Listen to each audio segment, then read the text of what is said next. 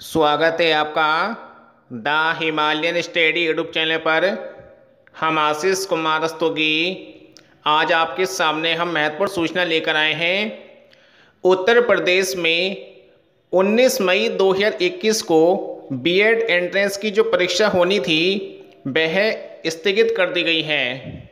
इस वीडियो को आप लोग पूरा ज़रूर देखें। और आप लोग हमारे इस चैनल को लाइक करें, शेयर करें और सब्सक्राइब करना ना भूलें आप लोग। तो देखिए, ये जो आपकी आज की न्यूज़ है 18 अप्रैल 2021 के न्यूज़पेपर में ये जानकारी हमें मिली है। इसमें लिखा है कि बीएड की प्रवेश परीक्षा टली और इसमें दे रखा है कि 19 मई 2021 को होने वाली संयुक्त प्रवेश परीक्षा, यानी कि बीएड 2021 जो है आपकी टाल दी गई है। ये परीक्षा अब जो है 19 मई 2021 को नहीं होगी।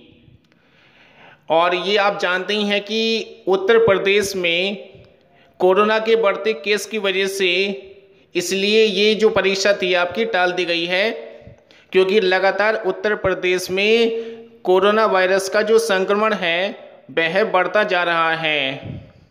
इसलिए इसका प्रभाव जो है कोरोना का परीक्षाओं पर देखने को मिलेगा। और इसमें लिखा है कि प्रवेश परीक्षा की नई तिथि बाद में घोषित कर दी जाएगी।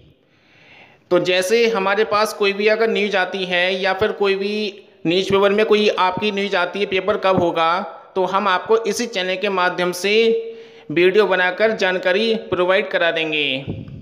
इसलिए आप लोग हमारे इस चैनल को सब्सक्राइब ज़रूर कर लें और बेल आइकन के बटन को प्रेस करना ना भूलें आप लोग। और ज़्यादा से ज़्यादा ग्रुप में वीडियो शेयर करें ताकि सभी को जानकारी मिल जाए। और आप लोग हमें कमेंट बॉक्स में ज़रूर बताएँ कि हमारे द्वारा बनाई गई वीडियो आपको कैसी लगी।